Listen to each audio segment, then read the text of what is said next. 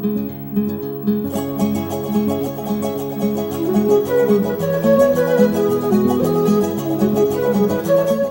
buenos días, eh, saludamos a todos los que nos siguen por las redes de RTV San Marcos. En esta ocasión continuamos con las conversaciones que giran alrededor de los libros publicados por el Fondo Editorial de la Universidad Nacional Mayor de San Marcos.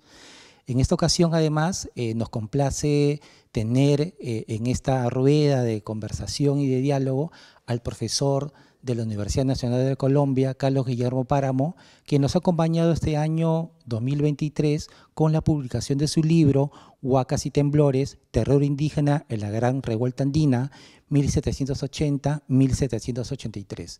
Nos acompaña además en esta ocasión para generar la conversación el profesor, historiador y antropólogo Heraclo Bonilla. Eh, Heraclo y Carlos, muchas gracias por compartir esta mañana en esta conversación.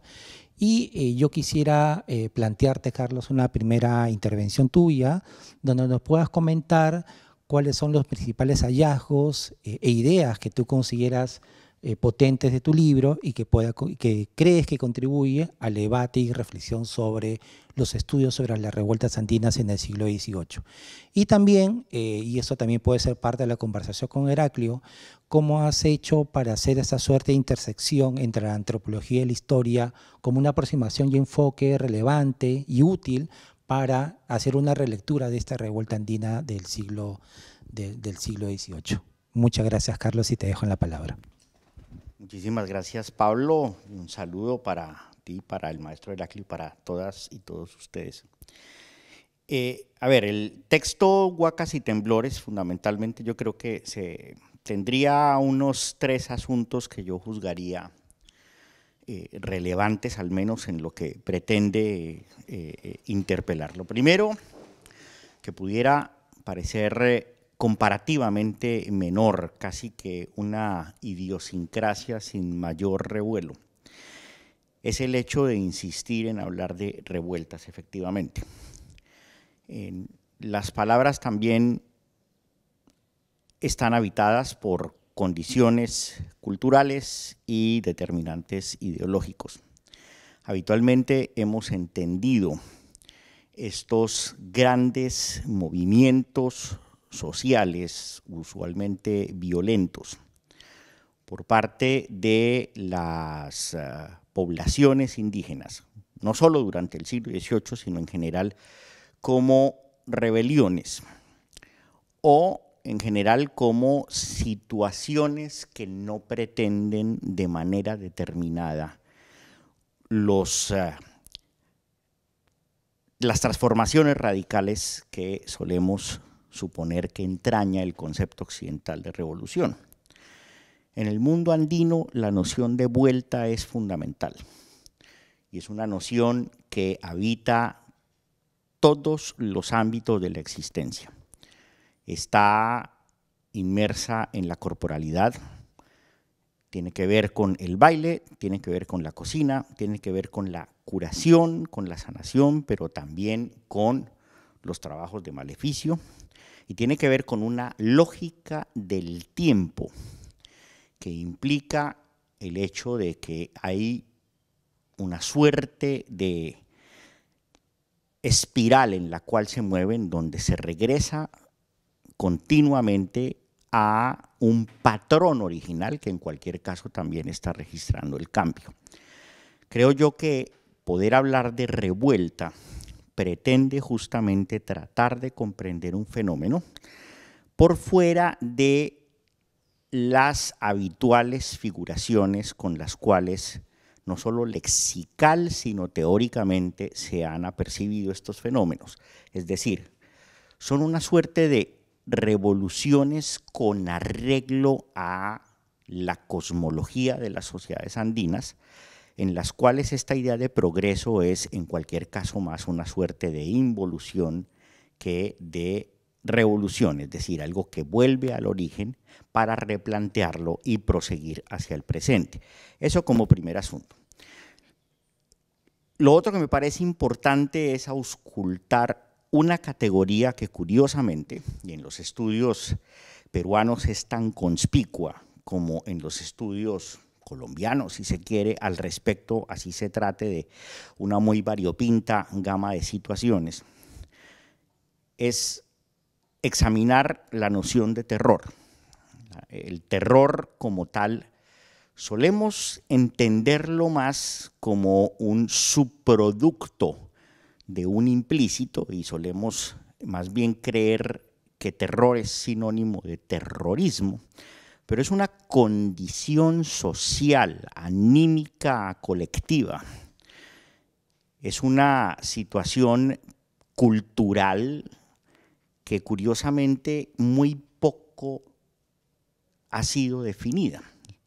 Solemos suponerla más bien como algo afín al miedo, qué sé yo. Y uno de los intereses de este trabajo fue buscar no solo definir de una manera tipológica un tanto más estricta, aunque enormemente heterodoxa, de qué trata el terror en sí, sino justamente ver cómo esto también tiene evidentemente instancias culturales sustantivamente distintas.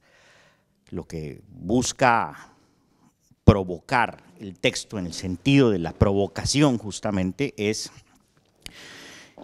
evaluar cómo son dramáticamente distintas las formas de terror ejercidas por parte de las poblaciones indígenas levantadas o inclusive las que contrarrestan el levantamiento del lado realista con las formas de terror expresadas por parte de la sociedad blanca, bien fuera criolla o peninsular, que busca reprimir la revuelta de Tupac Amaru y los Qatari en Charcas. Es decir, cómo hay razones absolutamente distintas en el fondo que evidentemente, claro, pueden encontrar diálogo, que están en un escenario político común, pero que obedecen profundamente a causas, a determinantes estructurales, a condiciones cosmológicas que son sensiblemente distintas.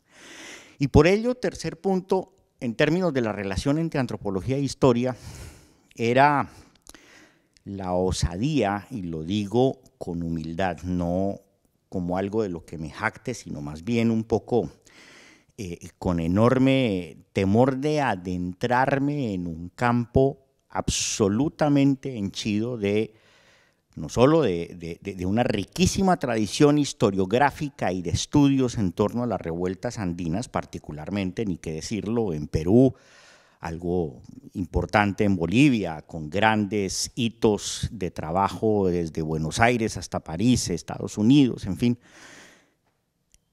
y tratar de mirar de manera distinta el acervo que tan pródigamente se ha recogido al respecto, pero con unos ojos que partieran de tomar en serio, si se me permite, la noción de tiempo recurrente y de estructuras profundas en las cosmologías andinas para tratar de entender el acervo histórico leerlo a partir de lo que sabemos etnográficamente que ocurre hasta el presente en las sociedades andinas, es decir, compadecerse con su noción de tiempo, tanto más con su noción de posibilidad, y a partir de allí intentar leer de una manera, por así decirlo, alternativa o distinta a como pudiera ser leída desde una lógica histórica ortodoxa occidental.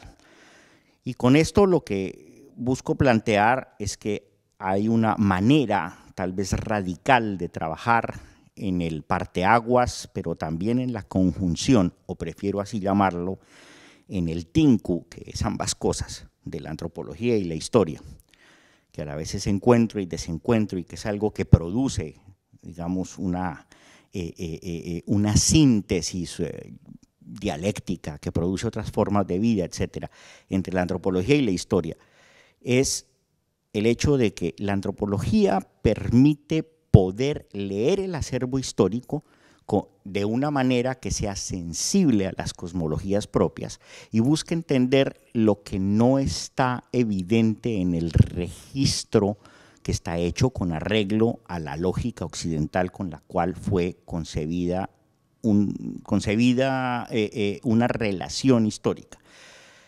Y en esta medida lo que procuré fue entender las causas o los cauces profundos de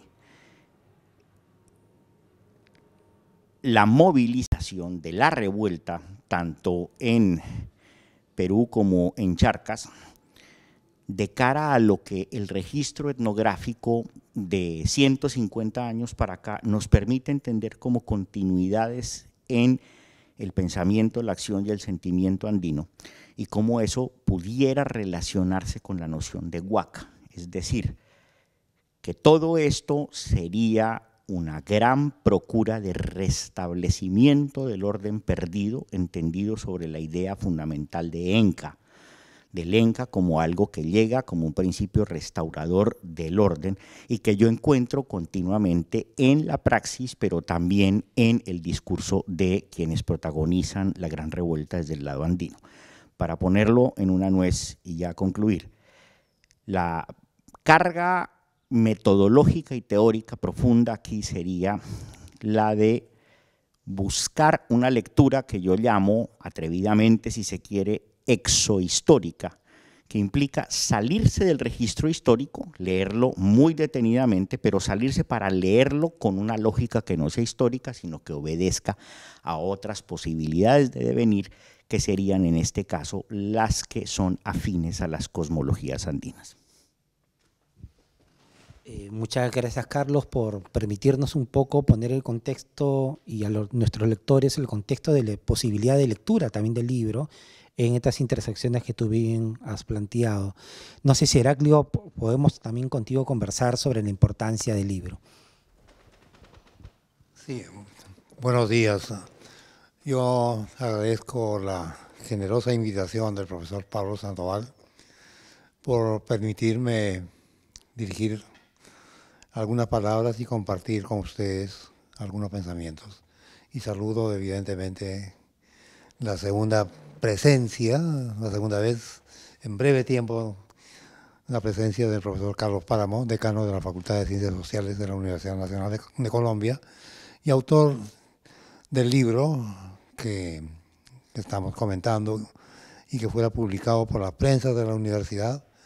Y yo me congratulo enormemente de haber puesto un granito de arena para convencer al profesor Sandoval sobre la importancia de este libro. Yo no voy a referirme al libro como tal, porque el profesor Páramo en su intervención precedente ha dicho muy claramente los tres horizontes que sustentan la no solamente la novedad sino la importancia del texto. Quisiera, quisiera más bien aludir a, mi experiencia mía como San Marquino, que cruza justamente la frontera entre la historia y la antropología. Yo ingresé después de tres años decepcionantes en la Facultad de Derecho al Instituto de Etnología y Arqueología dirigido en ese momento por el profesor José Matosmar. Y uh, hubo dos profesores muy importantes, el profesor Luis Eduardo Valcárcel, autor de varios libros sobre la historia del Perú antiguo y un texto sobre etnohistoria, y el distinguido antropólogo, escritor José María Arguedas. Un poco más tarde se creó el departamento de sociología con tres profesores invitados. Uno era un francés, François Bourricot, quien daba un seminario sobre Tarkov Parsons. El otro, otro francés, uh, Henri Fabre, que venía a enseñar y al mismo tiempo comenzar sus estudios de antropología y sociología rural en Huancavelica. Y uh, finalmente uh, regresaba Aníbal Quijano, quien había estado durante mucho tiempo en, Santiago. La broma, como broma y como en serio, era decir que uno estudiaba la empiria en antropología y la teoría con mayúscula o con minúscula en sociología. Bueno, um, yo debo inmensamente sobre todo a José Matos Mar José María Arguedas sus enseñanzas en antropología, porque me permitieron entender el Perú. El Perú atraviesa, como saben muy bien, muchas dificultades y el único consuelo es que sigue siendo un extraordinario laboratorio social y en el cual justamente la antropología es una disciplina muy importante para tratar de entender sus dilemas, a condición, por cierto, que uno entienda claramente lo que, lo que debe llamarse antropología.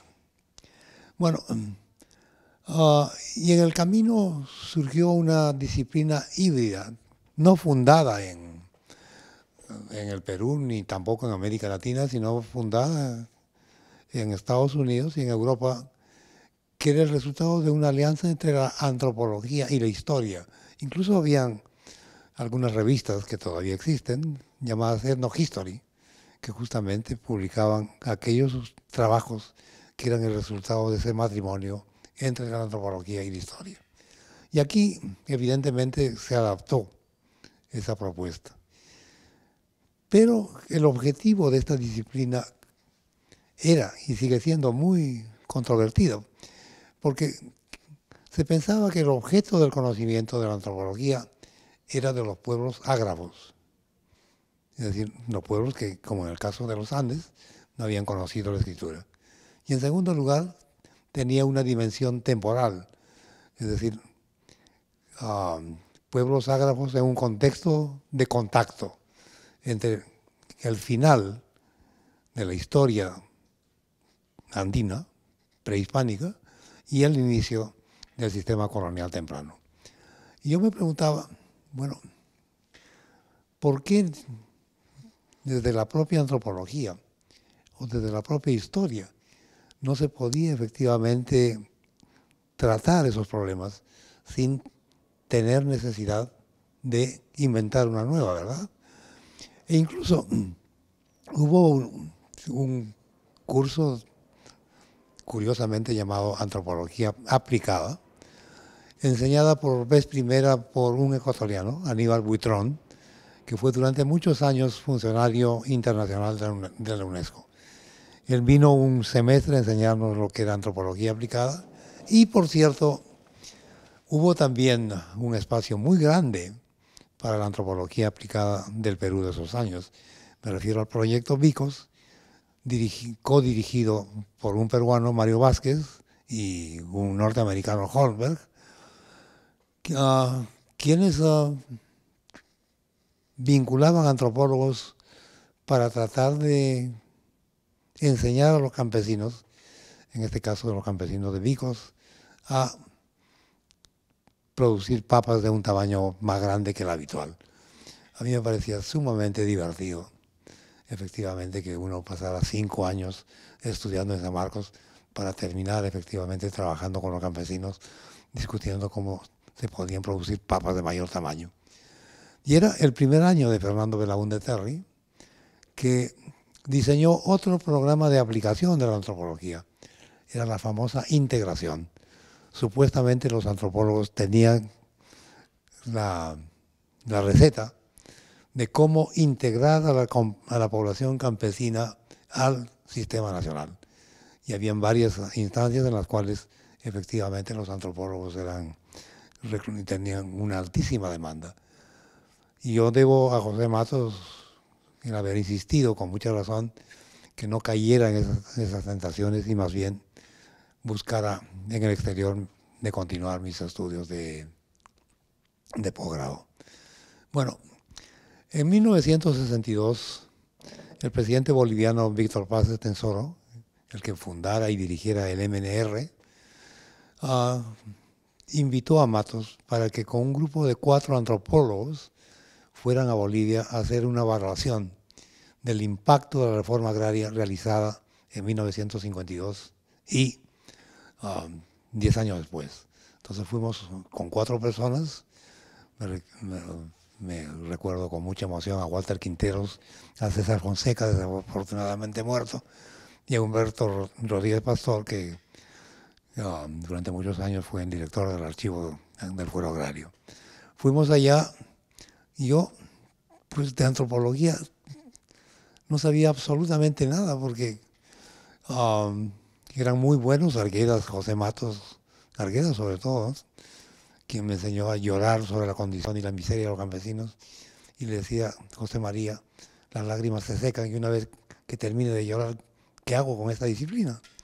Entonces fui el 62 a, a Bolivia y trabajé medio año en Jesús de Machaca, publiqué con, con César Fonseca un libro que para mi vergüenza todavía mucha gente lo comenta hoy con, con admiración y con emoción. Y ese libro yo lo escribí por olfato. Vuelvo a repetir, de antropología no sabía absolutamente nada. Entonces, ah, y no sabía absolutamente nada porque el paradigma dominante en esos años, no solamente en el Perú, sino en América Latina, era la antropología cultural. Es decir, la constatación de cómo era una realidad. Y para ellos la realidad eran indios y blancos, y en el medio los mestizos. Y yo estaba mucho más interesado no tanto en constatar cómo era la realidad, sino cómo llegó a ser, a ser lo que era y eventualmente cuáles eran las pistas para un cambio. Y en ese contexto apareció uh, François Chevalier, el discípulo de Marc que durante un semestre nos enseñó la historia agraria de México y fue para mí un, un, el descubrimiento de un nuevo continente y me dediqué efectivamente a, a realizar estudios de posgrado, pero primeramente a completar mi formación de historia que era nula. La cultura histórica de un francés, de un niño de primaria, era por cierto mucho mejor que la mía. Y de antropología empecé a estudiar con Levi-Strauss, con Maurice Gordy y luego en Inglaterra el tipo de antropología que me hubiera gustado estudiar acá en, los, um, en los Andes. Entonces, uh, sí, la gran enseñanza es que de la alianza entre la historia y la antropología se puede efectivamente construir una perspectiva mucho más persuasiva para entender los, uh, las dificultades, sobre todo de una realidad cultural tan compleja como es la realidad andina y por extensión para entender Mesoamérica. Pero esto no basta. Es decir, creo que el libro del profesor Páramo demuestra que no es solamente historia y antropología, es la comprensión de la cultura de los Andes en sus múltiples dimensiones. Y esto, evidentemente, la antropología, por su sensibilidad, permite una aproximación. Pero no basta esto. Yo recuerdo que John Murra se reía, me decía, oye, estos antropólogos que vienen de Europa o de Estados Unidos a estudiar los Andes no conocen el quechua. ¿Y cómo pueden, cómo pueden estudiar a pueblos indígenas cuya lengua nativa es el quechua? ¿Cómo que es posible entenderlos si no te aproximas a través de su lengua? Y, y tenía mucha razón en ese momento John. Pero no solamente esto, esta noción de revuelta a la cual alude con, con mucha precisión el profesor Páramo, efectivamente implica que en ese regreso es necesario tomar síntomas de un diverso calibre. Ahora, el regreso me permite aludir a otra dimensión que es igualmente importante. Lo sabemos, lo sabemos tan bien que nunca nos detenemos ni siquiera un segundo para pensar. Y es que de 1492 en que Colón llegó a, esta parte del mundo y 1532 en que Pizarro y una centena de compañeros llegaron a Cajamarca, a la fecha son 500 y algunos años más, ¿verdad? Bueno, 500 años, medio siglo, dividido como se suele hacer entre el periodo colonial y el periodo postcolonial o republicano. Pero lo que está detrás de estos 500 añitos no son siglos, son milenios. Milenios que no se evalúan en centurias, sino en miles, y cuya profundidad va efectivamente ampliándose hacia atrás en la medida en que los avances de la investigación arqueológica, paleontológica, se desarrollen. Y de esto prácticamente nada, nada se alude, no se alude.